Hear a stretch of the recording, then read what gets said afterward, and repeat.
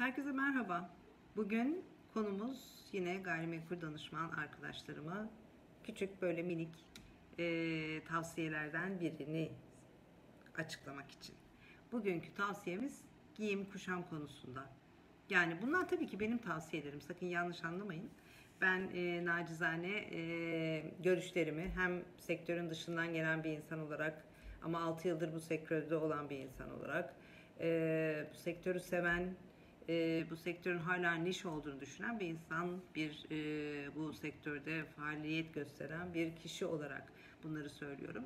En önemlisi bir kadın olarak e, ve e, çok çalışmayı sevip bu sektörde fayda sağlamayı sa- e, amaçlayan bir e, arkadaşınız olarak değerlendirmenizi e, öneririm, tavsiye ederim, umarım.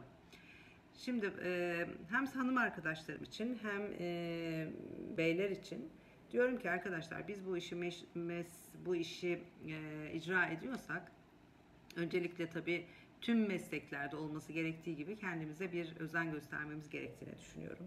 Bakımlı olmamız, müşterimizin e, karşısına çıktığımız zaman e, ona hitap ediyor olmamız gerekiyor. Hem görüntümüzle hem diksiyonumuzla hem tabii ki bilgimiz en öncelikli geliyor ama biliyorsunuz kapıyı çaldığınızda hmm, önce silüetiniz, önce görüntünüz, önce siz açarsınız o kapıyı ama içeride kalmanızı sağlayan e, bilginizdir, tecrübenizdir, dürüstlüğünüzdür, samimiyetinizdir. Ama bu görüntüyü yok sayamıyoruz maalesef.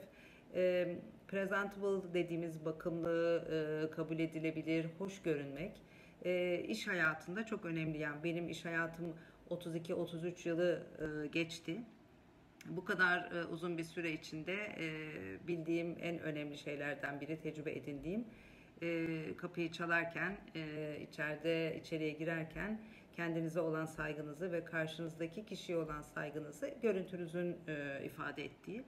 O yüzden e, diyorum ki önce e, yine aynı konuya parmak basacağım. Daha evvel evlerin kokusuyla ilgili e, temsil ettiğimiz, e, gösterdiğimiz, sunum yaptığımız yerlerin kokusuyla ilgili konuşmuştum. Şimdi de kendi kokumuz, hani böyle çok e, göze bat, yani çok böyle tırmalayan e, kıyafetler veya kokular yerine hani sade, hoş, e, ferahlık veren, insanın karşı tarafın hoşuna gideceği, yani kesinlikle bunun adı yanlış anlaşılmasın ile bu iş parayla olacak diye bir şey yok ama hani duş almış olmak e, bu yaz günlerinde asistanlarınıza özellikle asistanlarla çalışan arkadaşlarımız bir asansöre biniliyor. Asansörde artık nereyi koklayacağınızı şaşırabiliyorsunuz. E, bu müşteriyi de tabii ki etkiliyor. Size olan saygısını da etkiliyor. İşinizi yapış e, yapış tarzınıza olan saygınızı da etkiliyor. Yani kısaca hem toplumumuz için hem yaptığımız işe saygı olarak hem kendimize en öncelikli saygı olarak nasıl seviyorsak kendimizi, işimizi de nasıl seviyorsak buna bağlı olarak mutlaka karşımızdaki insanlara empati yaparak diyelim ki kendimizi şöyle çıkarken ofisten çıkarken, evden çıkarken, bir yerden çıkarken böyle bir bakalım. bir, bir kendimizi bir gözden geçirelim. Çok önemli diyorum.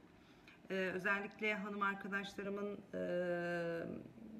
bu yaz günlerinde işte ne bileyim kışın da aynı şekilde yani topukluyu ben de çok seviyorum arkadaşlar. Ofiste giydiğim zamanlar 30 yıla yakın e, ofiste ofislerde çalışırken şirketlerde hep topuklu ayakkabı giydim ama topuklu ayakkabıyla sunum yapmak gerçekten çok sağlıklı değil. Hem sizin için hem sizinle birlikte işte acelesi olan e, evet görüntü bunda hoş ama her şeyin böyle bir ayarı çok güzel oluyor. Beyler lütfen sakal tıraşlarımız işte yaz günü şehirde çalışan arkadaşlarımız için söylüyorum. E, şortlar, işte parmak arası terlikler. Siz anladınız beni. Siz beni anladınız. Umuyorum e, yanlış anlaşılmamışımdır ama söylemeden edemedim.